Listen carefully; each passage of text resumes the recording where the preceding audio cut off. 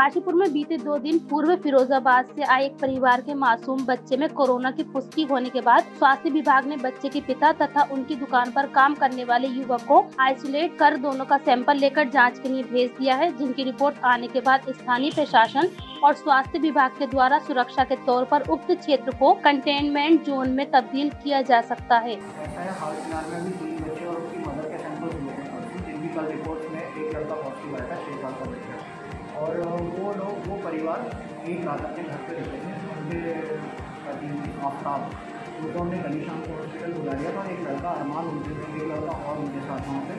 उनके शॉप में काम करता था, दुकान पर। हमने दोनों को आइसोलेट कर लिया और उनके आज सैंपल दिए हुए हैं। अगर किसी कारणवश वो पॉजिटिव आ जाते हैं